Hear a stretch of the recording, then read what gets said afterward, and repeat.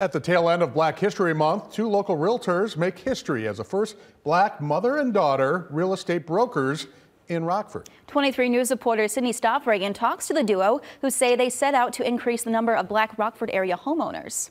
I feel really lucky to be able to work with her. A report from the Northwest Alliance of Realtors shows minority groups are increasing their home ownership rates in 2024. Hoping to help people into their dream homes, Felicia Esmond and her daughter Miata Patan inspire people just like them as the first black mother daughter realtors. I didn't really notice it until people started acknowledging it. I'm like, oh, okay.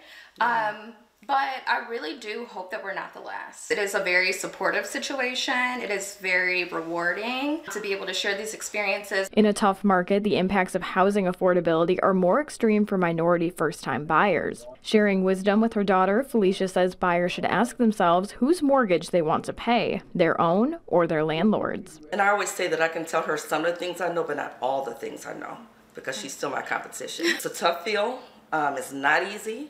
Put the work in it, you will be rewarded.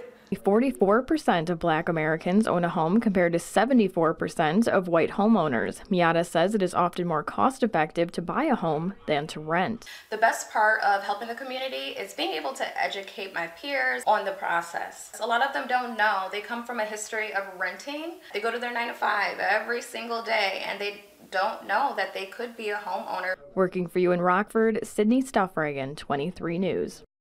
According to the Northwest Alliance of Realtors, black homeowners and renters are the most cost burdened than any other racial group, with less than 10% of black renters able to afford a typical home.